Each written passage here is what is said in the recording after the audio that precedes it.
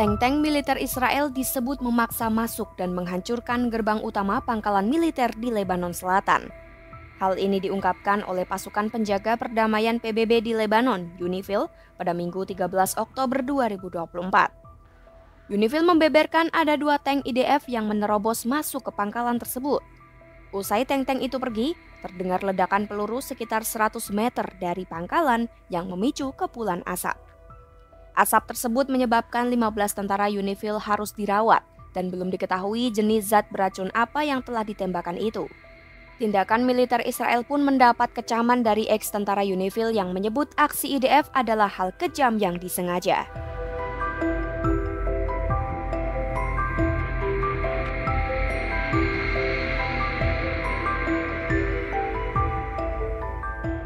Atas tudingan ini, militer Israel angkat bicara. Mereka menepis anggapan soal pasukannya yang menyerbu pangkalan dan menyebut bahwa tank yang masuk ke pangkalan adalah tindakan mundur untuk menghindari serangan yang sedang berlangsung. Dalam sebuah pernyataan, IDF mengatakan tabir asap diperlukan untuk melindungi tentara yang sedang dievakuasi. Namun, mereka mengeklaim tembakan tabir asap tidak membahayakan pasukan UNIFIL.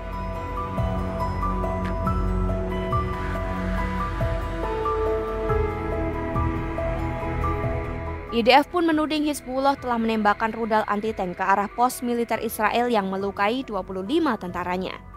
Serangan itu dinilai ditembakkan dari lokasi yang dekat dengan pos Unifil.